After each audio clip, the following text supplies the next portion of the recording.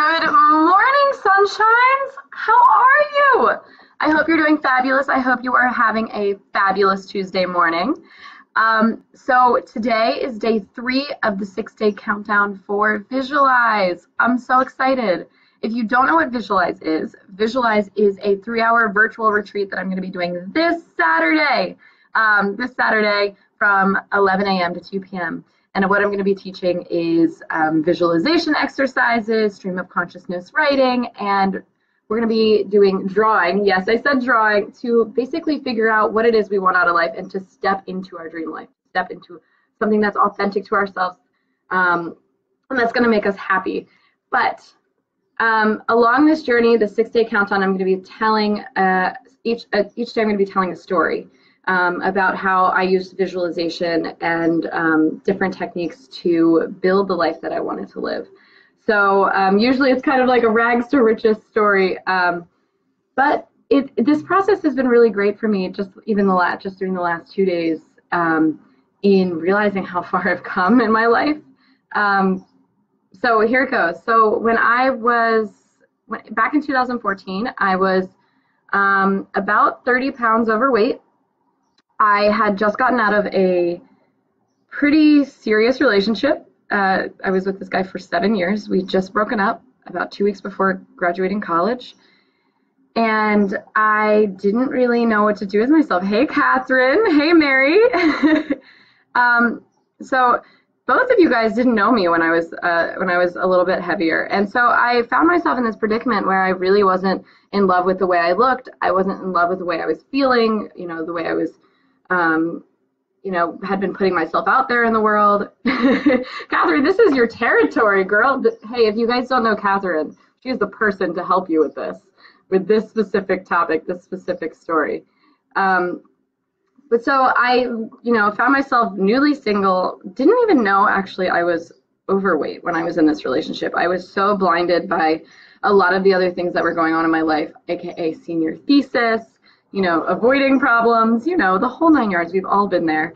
And I get out of this relationship, I graduate college, and I'm like, oh shit. I'm like, oh crap. I'm so unhappy with just what I am and who I am in this moment. Um, I let go of all of these other things, you know, that were distracting me and was just me. And I realized I hadn't worked on me truly in, you know, like four years. I hadn't been taking care of myself. I had been you know, not eating all day and then binging on Domino's pizza, which by the way, their chocolate lava cakes are the bomb. um, I was in this spot in my life where I was feeding my emotions with food and I was, you know, and my emotions, I was totally not cool with them. I couldn't sit with them. I literally remember walking in um, my bedroom at the time um, and being like, you know, I, I, I really should meditate. I really should visualize, but oh, that sounds painful. Listen to my thoughts. Ooh, I think I'm just gonna go eat some more cereal. I really like cereal. And you know, I did it. I remember I did it. I meditated for the first time and I started visualizing for the first time and it was so hard. It was so scary. I was like, I hate what I'm thinking. I hate that when I'm thinking this thing, I start to eat this. And I hate that I let myself get this out of control. Like it was a negative spiral for me. It was like, I hate that I did this. I hate that I did that. Why did I do this? I'm so, you know, I'm not enough. I'm like this, that, and this. And I remember the first time I sat down to meditate when I was like, okay, this is a journey. Like this, you were really unhappy. You're overweight. You're this, that, and this. And I remember being you know, the person I was with at the time was like, oh, you're going to meditate? Who meditates? Like, ugh and I was like, oh, maybe I shouldn't meditate. And I was like, you know what? No, no, I'm going to do this anyway. I, you know, moved back to Maryland for two months. I was staying with my mom, you know, to to kind of get my feet back on the ground so I could move back to Philly again, find a roommate, move back to Philly, find an apartment. And I started meditating every single day. I said it was non-negotiable. At least at least 10 minutes before bed every single day. Hey, Christy, we got to go to the Poconos. I'm giving you the serious face.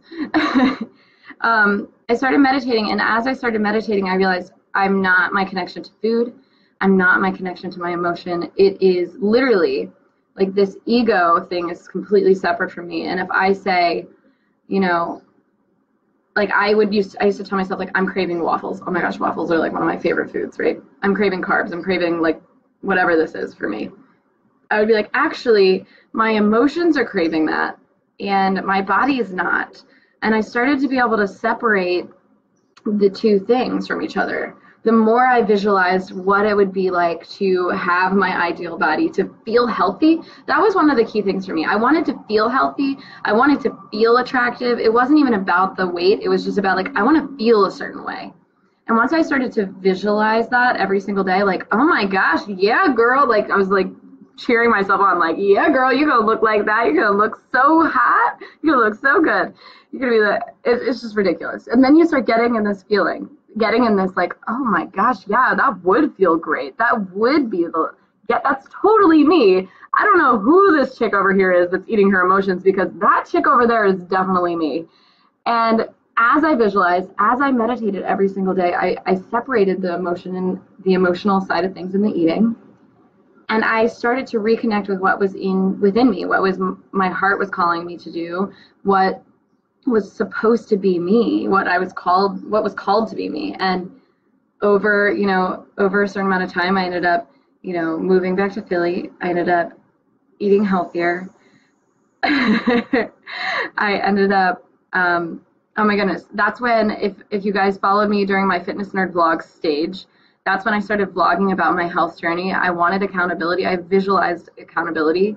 So I, I started a vlog and um, over time, I ended up hitting my goal. I've maintained it. And now, goodness gracious, I've discovered that it was a lot of it was that, but also turns out I have an intolerance for different foods. Like I'm lactose intolerant. Who would have thought, right? Like there's things that we just completely ignore that um, that if we just pay a little attention, if we listen to our body, which meditation for me has done really good, um, we will realize, oh my goodness, this is so not worth it. Like, and I have to learn my lesson over and over again too. Every once in a while, I have a cheat day, which was for me this weekend. I had two cheat days actually, and I had cake, vanilla cake with chocolate icing. Who liked my cheat day? Who did that?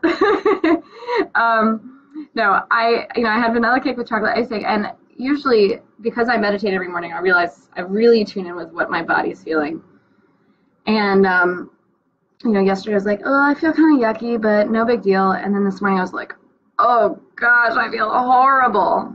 And over time, it just stops being worth it. Like there's certain foods that I will just not eat that used to be my favorite foods on planet Earth, but I realized that they actually make me feel like crap. And I never noticed that they made me feel like crap because I literally felt, first of all, I literally felt like crap all the time.